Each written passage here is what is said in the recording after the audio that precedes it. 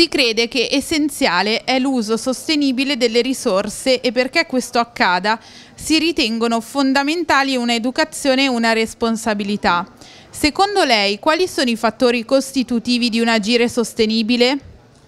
Beh, a livello industriale è fondamentale essere consapevoli che si utilizza un bene comune come l'acqua, noi siamo un'industria che ne utilizza poca fortunatamente, ma abbiamo imparato a utilizzarla meglio, utilizzarla di meno. Ciò non basta perché come impresa siamo parte di una comunità, quindi dobbiamo porci il problema di poter essere come dire, utile a quella comunità e questo ci ha portato, ed è quello di cui ho discusso qui eh, al meeting, a identificare una partnership con il consorzio di bonifica veronese e creare un'area forestale di infiltrazione che andrà a ricaricare la falda dalla quale preleviamo l'acqua. Quindi